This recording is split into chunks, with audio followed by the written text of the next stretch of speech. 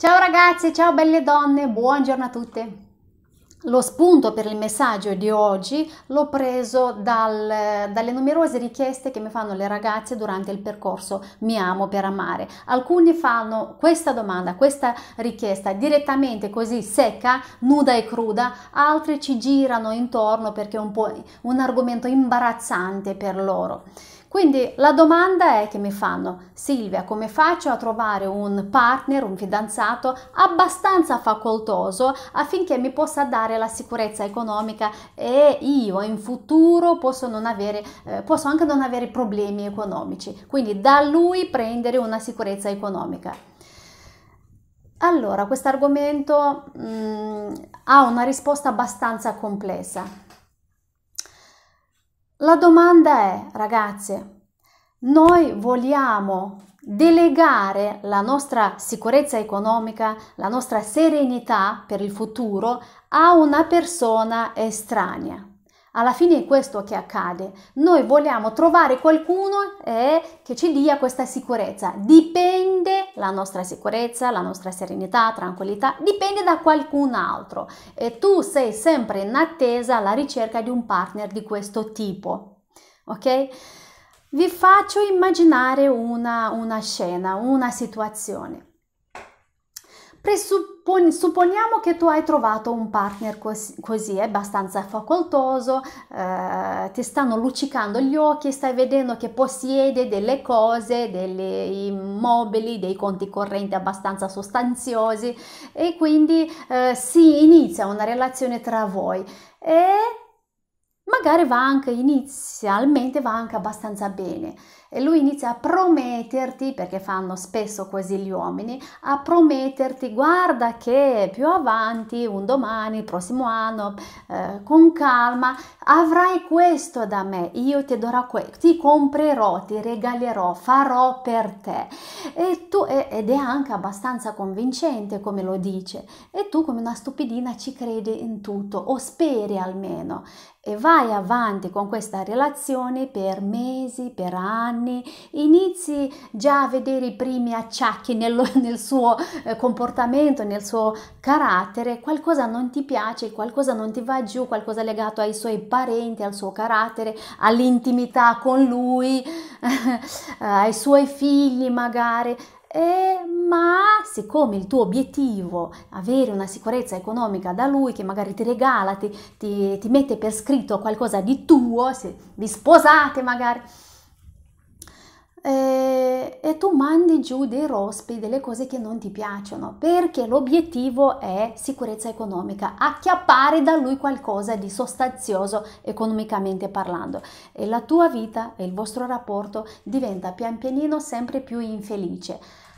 Accade spesso questa situazione, non è sempre, c'è anche la fortuna, ma spesso accadono situazioni del genere. E le donne si trovano ad aspettare, a soffrire, a mandare giù per anni le cose che non gli vanno bene, magari anche eh, tra virgolette sfruttando il proprio corpo, la propria intimità, per un domani forse mi arriva qualcosa da lui e io forse starò tranquilla e serena, forse tutto sotto il punto di domanda ma vale davvero la pena delegare la nostra serenità, la nostra tranquillità, la nostra sicurezza economica a un estraneo? Delegarla? Quanto vale la pena davvero? Quando ho capito il concetto che eh, non so quando, non vale davvero aspettare uno ricco che ti dia la sicurezza economica un domani o immediatamente. Quando ho capito questo concetto ho iniziato a lavorare su me stessa e puntare su me stessa, a costruirmi la mia sicurezza economica passo dopo passo, mese dopo mese, anno dopo anno, mattone dopo mattone. Quando ho capito questo concetto che non vale davvero la pena delegare o aspettare. Um, mi presento prima di eh, raccontarti una storia, quella che ho vissuto io e come è avvenuta la trasformazione, eh, la sicurezza economica che adesso ho.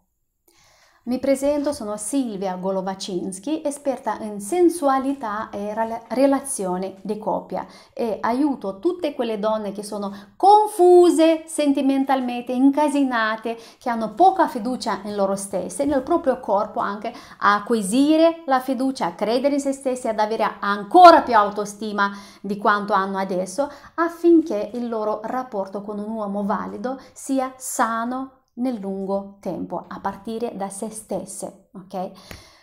In che modo aiuto le donne? Attraverso un percorso Mi amo per amare. E se vuoi avere le informazioni corrette, giuste, chiare sul, prof, eh, sul percorso Mi amo per amare, clicca sul link e ci vedremo. 30 minuti io e te ti dedico e ti spiego tutto. Ok? Allora, come ho fatto io a raggiungere quella sicurezza economica e la serenità che ho adesso. Non sono la milionaria del pianeta, ma ho la mia sicurezza e ti spiego come ho fatto ad arrivare e non dipendere dal mio Pietro, il mio amato marito, che non c'è più, eh, ma costruire la mia sicurezza, la mia serenità. Sono partita esattamente nel 2015, mi sembra, no, prima, prima, alcuni anni fa, avevo un, un, una tipografia che avevo comprato io metà, io metà Piero, abbiamo investito 50 e 50 in quella tipografia, un affare abbastanza buono in Italia, Monza esattamente.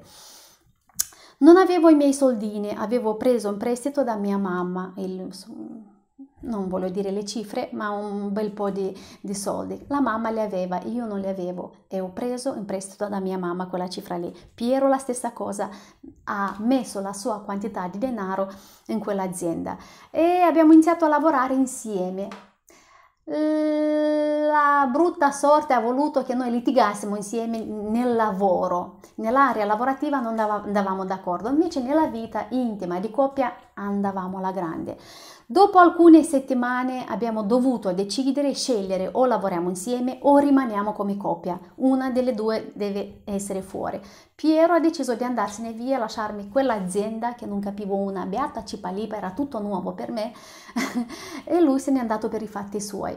Io ho dovuto imboccarmi le maniche, imparare tutto, grafica, commercialisti, di tutto e di più che non avevo idea, sbirciare su internet, imparare tutto quello mestiere di una tipografia e andare avanti con, con, l'azienda, anche perché mi vergognavo di brutto eh, fallire perché avevo anche preso in prestito dei soldi, ok? Non volevo eh, essere vergognarmi davanti a mia mamma, ai parenti, a Piero.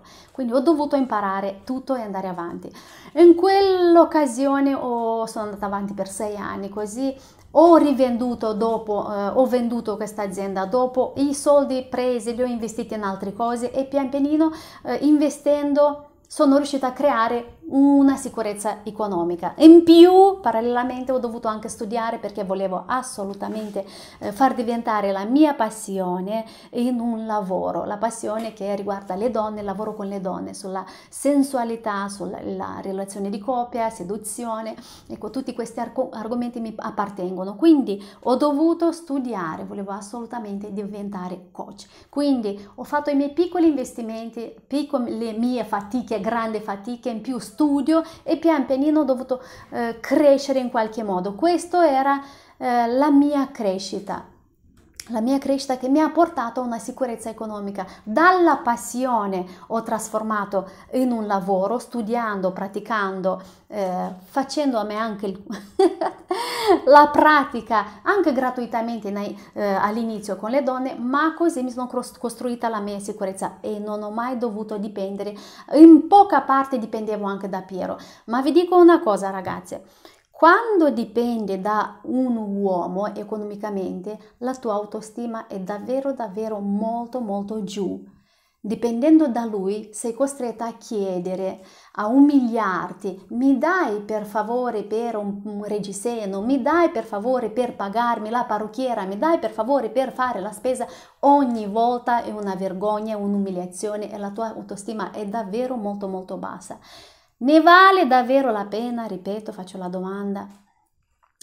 Quando comincerete a capire questo concetto che è molto più conveniente e molto più efficace investire in se stesse, costruire anche la piccola sicurezza economica, ma costante magari, allora da lì sarà la tua salita verso il successo. Ci metterai sei mesi, ci metterai sei anni, ma se tu inizi con costanza ci arrivi di sicuro, ok ragazzi? Smettete di cercare gli uomini ricchi perché può essere anche la fortuna, ben venga se arriva, è una cosa in più, ma aspettare, sperare, umiliarti, eh, chiedere in continuazione, mandare giù dei rospi, le cose che non ti piace, fare delle cose che non ti piace, non vale davvero la pena. Piuttosto fai, costruisci una sicurezza costante e lenta, ma sarà tua per sempre, anziché dipendere da qualcun altro.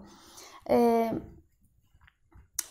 eh, ci sono tante donne che subiscono violenze psicologiche, fisiche anche anche per il fatto che non sono indipendenti economicamente, non hanno costruito la loro sicurezza economica.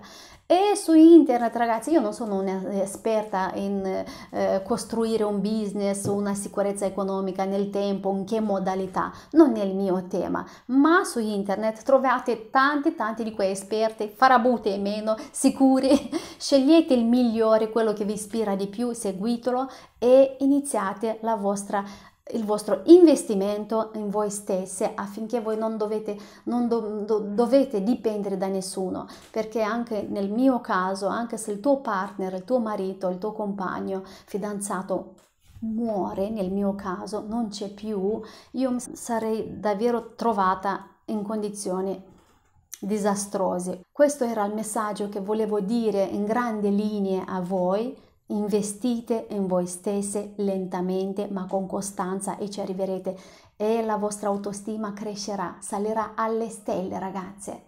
Non c'è seduzione, arma di seduzione più forte che la sicurezza, la, la, l'autostima buona della donna dovuto anche da una base sicura economica, piccola o grande che sia. Ok ragazze? Se vuoi sapere ancora di più, essere chiarita ancora di più su questo argomento o altri argomenti che mh, mm, riguardano la relazione, l'autostima, il dialogo con il partner, io sono a tua disposizione. Clicca sul link e ti spiego in che modo aiuto le donne per costruire la loro autostima, rinforzarla e avere un buon rapporto con il partner, se lo vogliono. Ciao ragazzi, un bacione.